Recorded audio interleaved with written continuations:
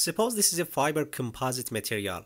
The fibers are aligned like this in this direction and the matrix has surrounded the fibers. I have two important questions for you here regarding the Young modulus of composite material. Question 1. What is the Young modulus of this composite? Is it equal with the Young modulus of fiber or matrix or maybe the average value? And the second question is, does it make any difference if you want to measure the Young modulus of this composite in this direction or this direction?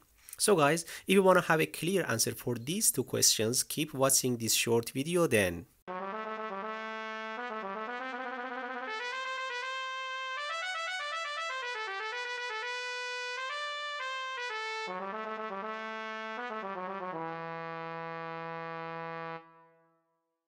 Hi there, hope everybody is doing well. Today we want to drive the Young modulus of the fiber composite which is loaded in the longitudinal direction.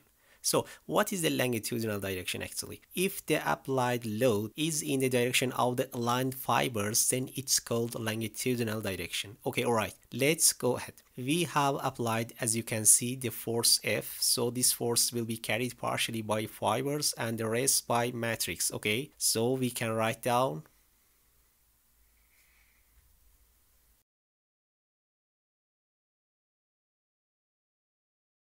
This is the force of the whole composite. This one is the force related to the fiber and this one to the matrix. Now we already know that stress equals the force over area which means the force is stress times area. So then we could express the above equation, equation 1 like this.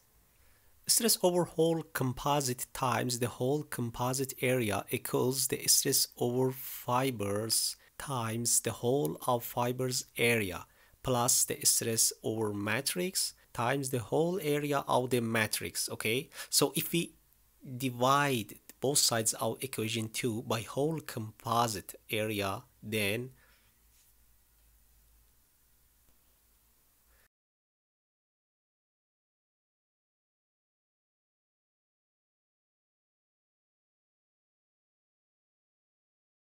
Now we have to define a term here called volume fraction, which shows the ratio of volume of whole fibers over the volume of the whole composite.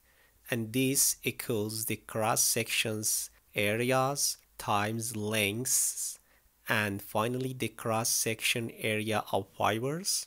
It means these areas or the area of the whole composite okay we can write the same thing for the matrix as well. The volume of the matrix over the volume of whole composite equals the area of the matrix over the whole area of composite. The area of the matrix could be written as the area of composite minus the area of fibers. That means this area okay over the area of the whole composite and this equals 1 minus phi.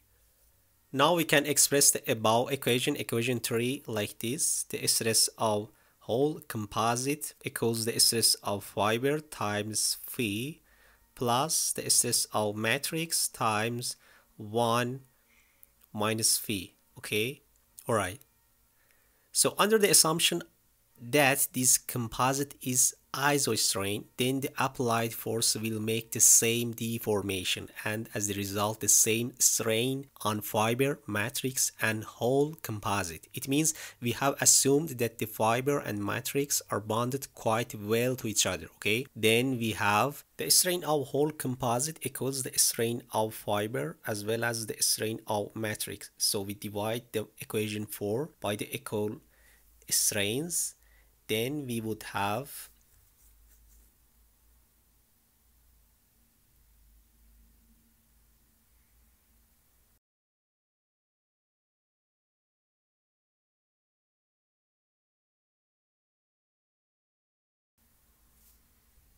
So we already know that stress equals Young modulus times strain based on Hooke's law for stress strain. So Young modulus equals the stress over strain. Consequently, we could say this is equivalent with the modulus of elasticity of the whole composite. This is the modulus of elasticity of fiber and this is the Young modulus or modulus of elasticity of matrix. Finally, we could express the modulus of elasticity of whole composite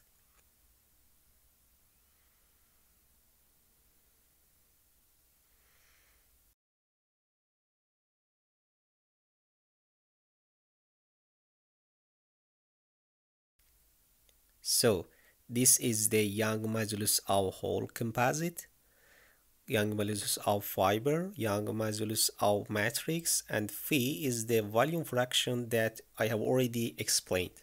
So I've tried to collect all the given information or let's say this derivation in one single sheet. Please take a look at it briefly and then come back here please because I want to tell you a nice summary to make sure that you're not gonna miss something, okay?